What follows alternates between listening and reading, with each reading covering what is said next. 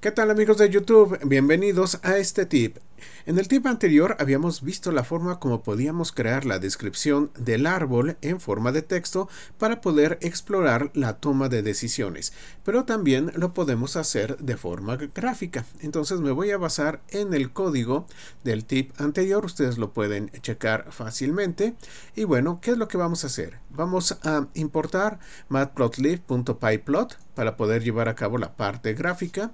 Luego indicamos el tamaño de la figura que nosotros nos interesa y bueno, pues vamos a invocar the tree plot tree.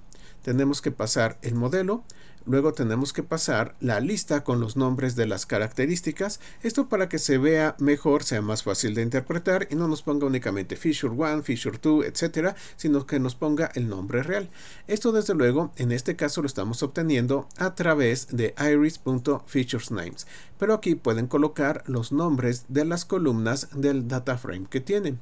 Después vamos a tener class names. Aquí tenemos que indicar cuáles son los nombres de las clases que nosotros tenemos, es decir, las diferentes categorías que tenemos en nuestra variable objetivo.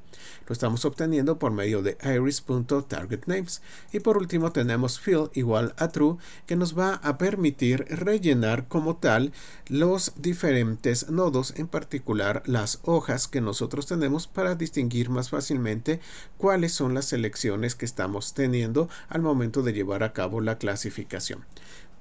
No debemos olvidar también nuestro método show para poder desplegar esto de forma correcta.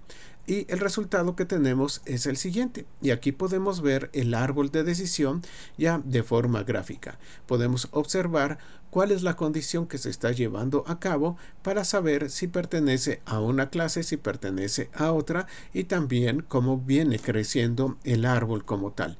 Entonces podemos ir observando exactamente lo mismo que teníamos en texto, pero colocado de forma gráfica para que nosotros podamos explorar e interpretar ese árbol más fácilmente.